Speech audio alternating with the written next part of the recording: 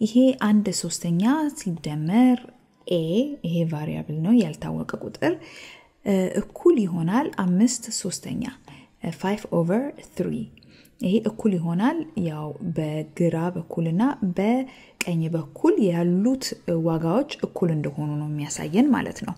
ስለዚህ አሁን A ን ለብቻዋ ለማድረግ ነው የምንሞክረው። A ን ለብቻዋ ለማድረግ ይሄ አንድ ሶስተኛ የሚለውን ወደ ዜሮ የሚቀይር ነገር ማድረግ አለብን ማለት ነው። ስለዚህ ይሄንን ለማስወጣት ወይም ወደ ዜሮ ለመቀየር በግራ በኩል አንድ ሶስተኛን እንቀንስ። ለምን አንድ ሶስተኛ ሲቀንስ አንድ ሶስተኛ ወደ ዜሮ እንዲቀየር ማለት ነው። ስለዚህ ስንት ይሆናል? አንድ ሶስተኛ ብንቀንስ ከዛ ደግሞ በቀኝ በግራ በኩል ያደረግነውን በቀኝ በኩልም ማድረግ ስላለብን አንድ ሶስተኛ በቀኝ በኩልም ብንቀንስ ምን ይመጣልናል? ከዚህ ላይ እነዚህና እነዚህ ተቀናንሰው ወደ ዜሮ ስለሚቀየሩ በግራ በኩል A ለብቻው ይቀራል። ከዛ አምስት ሶስተኛ five over three ሲቀነስ አንድ ሶስተኛ one over three የሚለው የሚለው ላይ እንደርሳለን ማለት ነው። እነዚህ እንግዲህ እንደምታዩቸው ታህቶቻቸው ወይም ዲኖሚኔተሮቻቸው አንድ አይነት ናቸው። አምስት ሲቀነስ አንድ በኒውሜሬተሮቹ ናቸው ማለት አምስትና አንድ ኒውሜሬተሮቹ ናቸው ወይም ላዕሎቹ ናቸው። አምስት ሲቀነስ አንድ አራት ነው። በቀይ ላድርገው አራት ነው። አራት ያው ከላይ ይቀመጥና ሶስት አይቀየርም። ስለዚህ አራት ሶስተኛ ነው መልሳችን ማለት ነው። በእርግጥ ይህንን መልሱ ትክክል መሆኑን ማየት እንችላለን። በኤ ፋንታ አራት ሶስተኛ ብናደርግ መልሱ እንደዛ ትክክል ይሆናል ወይ? በኤ ፋንታ እንግዲህ በፊት አንድ ሶስተኛ ነበረ። በኤ ፋንታ አራት ሶስተኛ ብናደርግ መልሱ በእርግጥ አምስት ሶስተኛ ይሆናል። አዎ አንድ ሲደመር አራት አንድ ሲደመር አራት አምስት ይሆናል። ያው ሶስት ታህቱ ወይም denominator ኡ ነው። ስለዚህ አምስት ሶስተኛ ይሆናል መልሱ ማለት ነው። ስለዚህ መልሳችን ትክክል ነው። ይህ ጥያቄ ምንድን ነው የሚጠይቀን? እቺ የ K ዋጋ ምን እንደሆነች ነው።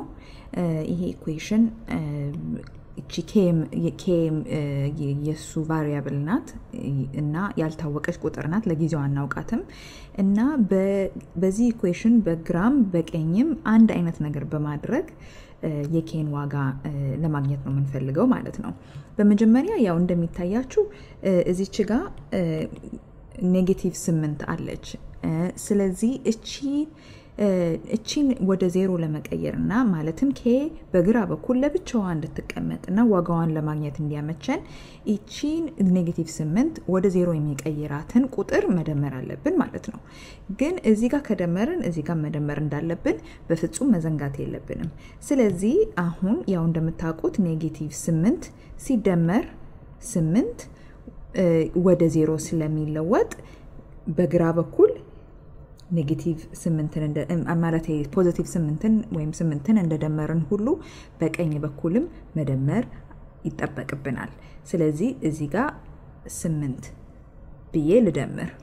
ከዛ እዚህ ጋር እነዚህ ወደ ዜሮ ይለወጣሉ አይደለ? እነዚህ ወደ ዜሮ ስለሚለወጡ K ለብቻዋ ቁጭ ትላለች።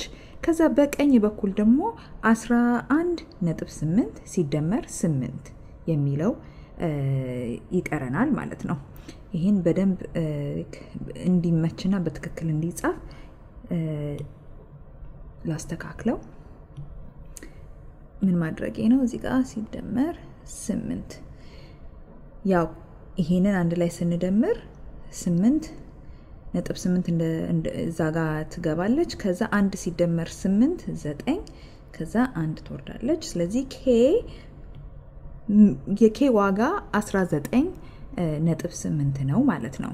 እና ወደ መጀመሪያው equation ገብተን በእርግጥ K 19 ነጥብ 8 መሆኗን ማየት እንችላለን። 19 ነጥብ 8 ያው በ K ፋንታ 19 ነጥብ 8 እናስገባና 19 ነጥብ 8 ሲቀነስ 8 ያው 11 ነጥብ 8 ነው የሚመጣው ማለት ነው። አምስት 13ኛ እኩል ይሆናል። T ሲቀነስ 6 13ኛ ይለናል። እና ይሄ እንግዲህ አሁን variable ኣችን T ነው። እና T በቀኝ በኩል ነው። በግራ በኩል ሳይሆን በቀኝ በኩል ነው የሚገኘው። ስለዚህ T በቀኝ በኩል ለብቻው እንዲቀመጥ እችኛዋን ማስወጣት አለብን ወይም ወደ ዜሮ መቀየር አለብን። ይሄንን ደግሞ negative 6 ሲካፈል 13 የሚለውን ለማስወጣት ወይም 6 over 13 የሚለውን ለማስወጣት ስድስት አስራ ሶስተኛ positive ስድስት አስራ ሶስተኛ ወይም positive six over 13 እሱን መደመር አለብን እና ይሄንን በቀኝ በኩል ካደረግን በግራም በኩል ማድረግ ግድ ይለናል። ስለዚህ በተነጋገርንበት መሰረት እኩል ይሆናል የሚለውን ዝም ብዬ ጻፍኩት እንጂ ያው ይሄ ሲደመር አይደለ ስድስት አስራ ሶስተኛ። ይሄ ደግሞ አምስት አስራ ሶስተኛ ነበረ። በቀኝ በኩል ስላደረግኩ ይህንንም በግራ በኩል መደመር አለብኝ። ቲ ሲቀነስ ማለት ነው። ከዛ እነዚህ ያው ኦ ይቅርታ ሲደመር ማለት ነው። ሲደመር እዚህ ጋር ሲደመር አደረግኩት ሲደመር ነው። ለምን? ሲደመር 6 13ኛ እና ማለት negative 6 13ኛ ሲቀነስ ኦ sorry negative 6 13ኛ ሲደመር 6 13ኛ ወደ ዜሮ ስለሚቀየር እዚች ጋ T ለብቻዋ ቁጭ ትላለች። ከዛ አምስት 13ኛ ሲደመር 6 13ኛ ያው እነዚህ ላዕሎቹ ወይም ዲኖሚኔተሮቹ 13 ናቸው ወይም 13 ነው። ስለዚህ ከላይ ያሉት ኒውሜሬተሮቹን መደመር እንችላለን። አምስት ሲደመር 6 11 ነው መልሱ። ስለዚህ 11 13ኛ ይሆናል ማለት ነው።